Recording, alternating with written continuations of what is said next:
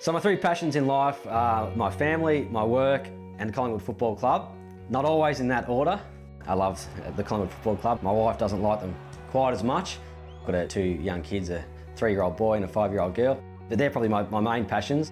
Uh, the best thing about our job working as an accountant and business advisor is the reward of seeing a client, they've got a new business idea about their passion or their industry and I love seeing it from that first spark they have when they come in and ask us about it to ultimately watch them putting that advice in place and then year, two years down the track, seeing the success of it and see the, the reward and their lives changed because of it.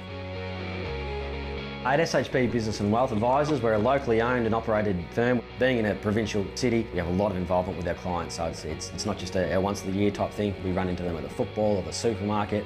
We see the homes that they build. We go out for dinner at their restaurants, so we're heavily involved with, with them and their success, and, and I love seeing the outcomes rather than just a once a year appointment they make to come and get their tax done. I find it very rewarding to, to see the end result.